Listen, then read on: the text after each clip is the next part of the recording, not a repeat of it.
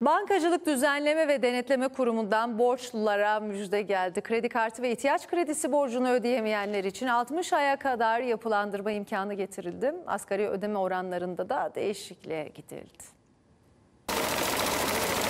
Kredi kartı borcum da var. Tabii ödemekte zorlanıyorum. Borcu olana BDDK'dan müjde geldi. Asgari ödeme tutarı düşürüldü. Banka borçlarını yapılandırmanın yolu açıldı. Biraz rahatladır gibime geliyor. Yeni düzenlemeye göre kişisel kredi kartı borcunu ve ihtiyaç kredisi borcunu ödeyemeyenler için 60 aya kadar yapılandırma imkanı getirildi. İyi, iyi bir uygulama e, olmayacak. Çünkü insanların gelir seviyesi az olduğu için bunları ödeyemeyecek. Kredi zaten ödeyemiyorlar ki. Uzamasının bir anlamı da yok yani. Asgari borcunu ödeyemeyenler borç bakiyesini 60 aya kadar taksitlendirebilecek. Her aya düşen taksit tutarı o ayın asgari ödeme tutarına eklenecek. Yapılandırılan kredi kartı borcunun en az yarısı ödeninceye kadar kart limiti arttırılamayacak. Onun da e, ona göre bir faiz e, uygulaması olacaktır. Bana hiç mantıklı gelmiyor. Asgari ödeme oranında sınır tutarsa 25 bin liradan 50 bin liraya çıkarıldı.